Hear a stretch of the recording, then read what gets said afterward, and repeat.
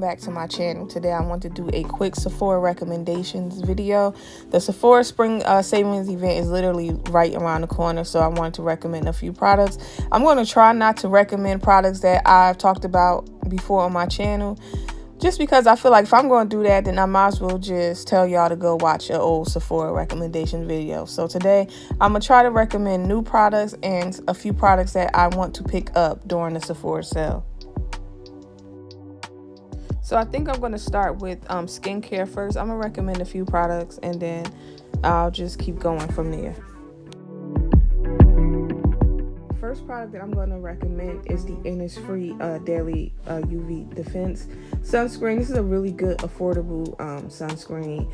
Um, it is very hydrating, but it doesn't um, make me look too shiny or too greasy. So you don't have to worry about that if you have oily or acne prone skin. And it also doesn't leave a cast. This is a really good sunscreen. I will highly recommend this one sunscreen I'm going to be recommending is the Laneige UV Defense Sunscreen. This is actually the one I've been using for the last year and a half. This is very similar to the Innisfree. Um, it's just a little more money. This one is 30 and the Innisfree sunscreen is $15. They both do the same thing, but my go-to has just been the Laneige. I will highly recommend either one. You can't go wrong.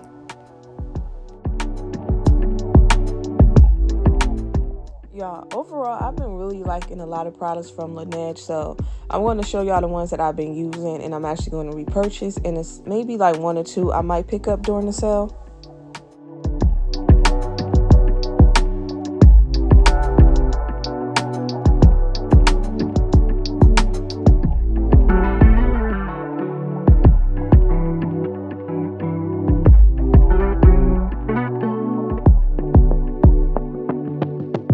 Yeah, I'm thinking about picking up this um, moisturizer from Laneige. Um, I have a sample of this, and it is very hydrating. Doesn't make me look greasy. Hasn't um, broken me out. It's very lightweight on the skin, and I feel like it'll be perfect. Um, being that the weather's starting to change, and I don't need like a heavy um, moisturizer, so I might pick this up. Y'all, this Laneige Radian-C uh, Brightening Treatment has really did wonders for my skin along with the um, vitamin C cream from Laneige. Like I've been getting a lot of compliments from like my coworkers. Um, recently when I went and got my eyebrows done, um, the lady who does my brows was like, what have you been putting on your skin? It looks really good. So if you suffer from a lot of hyperpigmentation, like give this, I would say, a good six to eight weeks, and you will see a huge difference in your skin. And also pair it with the um, Radian-C cream. I'm telling you, your skin will look amazing. Next product I think I'm going to pick up from Laneige is the Retinol Firming Treatment. Um, I've been trying to use retinol more in my skincare routine, and this is just one that caught my eye. I've been using the one from The Ordinary. I really like that one, but um, I want to try something different, so I might pick this up during the sale.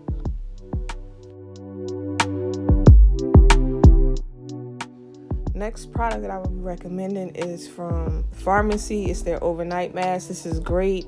If you have large pores, textured skin, this will really help improve your skin, put a lot of hydration back into it. Um, recently in my latest Sephora haul, I picked this up, but I picked it up in like a set where it was the um, overnight mask and the um, blueberry um, makeup remover. I would recommend getting it in a set because you're going to save a little more money where you'll get basically two products for the price of one because um, both product individually retails for about $40. So again, save you some money. Y'all, I'm definitely picking up more of these Dr. Dennis Gross um, daily peeling pads. I talked about this already. Love these. They're just super expensive. This is the time to get those expensive products that you had your eye on from Sephora if you're getting at least 15 to 20% off. Also, at the time of um, me filming this video, Nordstrom is having a sale as well. So you might be able to pick up some products from Nordstrom if you um, not like uh, Rouge or VIB at Sephora. Okay, I'm gonna recommend a few primers. The first one you need to get if you have oily skin is this Secure the Sweat uh, primer, y'all. This is really for people who have extremely oily skin like myself. You're going to see a huge difference in how your foundation wears, how long it holds up. I promise you, you got to get this primer. It is everything.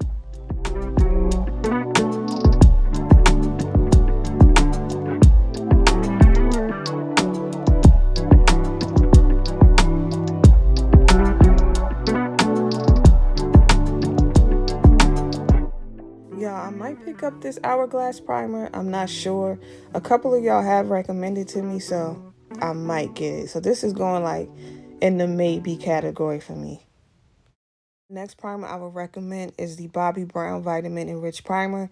If you live near a CCO store, don't get it from Sephora. Get it from there. If you don't, then this is the time to get it during the sale. It's a really good um, primer slash moisturizer.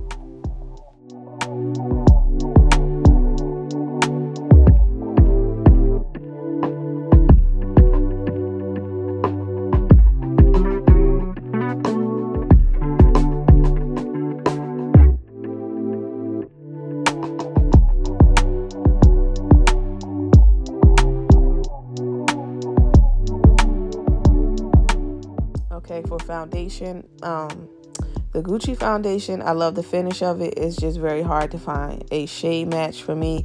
Still don't know my shade, but it's a decent foundation. The um, KVD also is a really um, good foundation as well. If you're around my shade, I would recommend going in store, swatching some shades to find the absolute best choice. The Laura Mercier foundation you got to get it. Like, this is the time to pick it up. Also, the Makeup Forever powder. I've been loving this powder. I've been using it nonstop.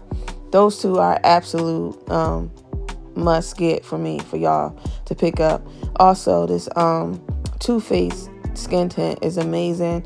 The uh, Bosma foundation stick, love it. Y'all, the Guerlain foundation, I tried it out with the Secure the Sweat primer and I got a huge difference as far as the way the foundation wore. But that's also another one that's very tricky when it comes to finding your shade.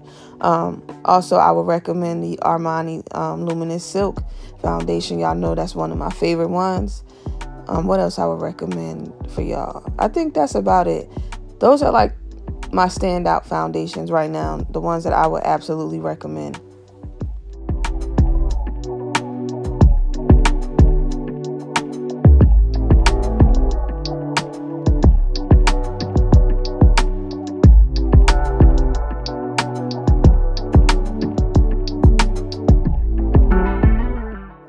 So we're gonna go through concealers right quick. The Givenchy, pick it up if you have not. The Valentino one, right now, I feel like that's a concealer that I don't know how it's going to wear depending on what um, I set it with.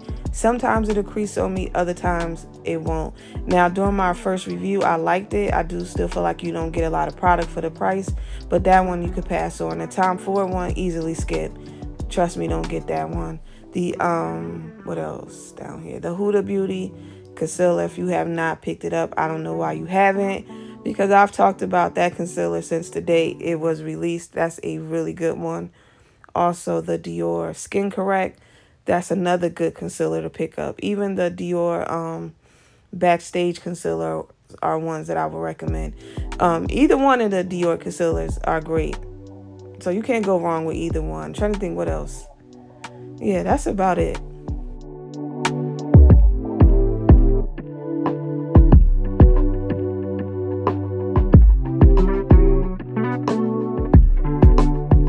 So for setting powders, I'm only going to recommend a couple, not that many. First one would have to be the Huda Beauty powder. That's one of my favorite ones.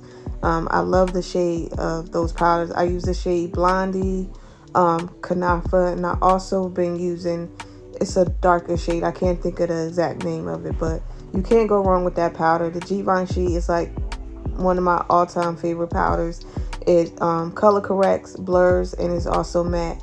This NARS um, powder is pretty good as well. Um, I use that as just a powder foundation, but you can use it that way or you can use it as a powder to set your foundation. So those will have to be the ones that I think I would recommend um, and the Laura Mercier powder. I've been using that one a lot, and I have the shade Honey. Like that's the one I've been reaching for a lot lately, just because it is fairly new to me. Okay, for bronzers, um, I typically just stick to the same two bronzers over and over again. So I'm just going to recommend the two that I use a lot right now, the ones that I'm always using. And the first one is the um, Make SoftSculpt Bronzer by Makeup um, by Mario. I have the shade Dark. I like this bronzer just because it actually makes you look bronze. It really warms up your skin. It's not too red. It's not too cool where it makes me look like I have contour. That's like one of my favorite bronzers right now. And I also use the Dior um, Forever Bronzer. That's like my go-to. I use that anytime I have makeup on. And I'm going to pick up this Haus Lab uh, bronzer because I've been eyeing it for a while now.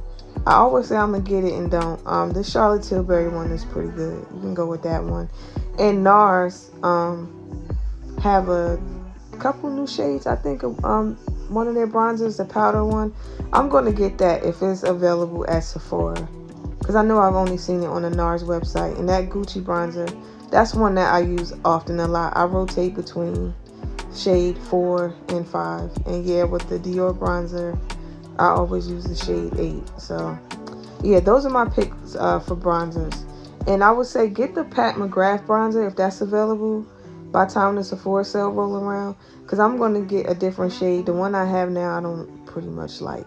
So I have just a couple of lip products to recommend to y'all to try out the Summer Fridays um, Lip Butter Balm. If you have not tried that out, you need it. Also, the Summer Friday Skin Tint, that's a really good one. I don't think I mentioned that. Any lip product from Dior, I would say get. You can't go wrong with any lip products from Dior. I love the matte lipsticks. I love the lip gloss. I love the liquid lipsticks. Like, you cannot go wrong. like, the quality, the pigment, they have a ton of shades, especially when it comes to, like, the matte lipstick. So, those are definitely a get on my list. Now, I don't know if I'm going to pick up any more, but if you've been eyeing anything from Dior, get it. And I'm thinking about getting this shade and Illuminate Cream Contour from Tom Ford. I have um a powder one from Tom Ford that's been discontinued, I think. So I want to try this out. Now, I don't know if I'm going to get the deepest shade or I'm going to get the other shade. Um, I think it's medium deep. What is it? Yeah, medium. I don't know if I'm to get medium or deep. I don't know. And I might check Nordstrom and see if these are on sale. And I might get it from Nordstrom. Or I'll wait and get it from Sephora. I don't know yet. But this is definitely going on the purchase list for me. Y'all, I think that is about it. I didn't want to make this video too long. Like, I've started filming it, well, recording this video like last week. Then I stopped. Then I started back again. Well, the voiceover part. So I just don't want this to be too long. So yeah, that is all the things that I would recommend from Sephora. Um, some of the things that I'm going to be picking up. Y'all let me know in the comment section what are you picking up during the Sephora sale. Also, I want to know, do y'all ever set like a budget for the sale? Like, do you tell yourself, okay, I'm only going to spend this amount or I'm not going to spend this amount? Because every time the sale comes up, I'll have a number in my head. Like I'm not going to go over it. And then I start watching Sephora hauls. And then I'll end up picking up other stuff. So then I go way over budget. So y'all let me know. Am I the only one who do that? but anyway, y'all, that is it.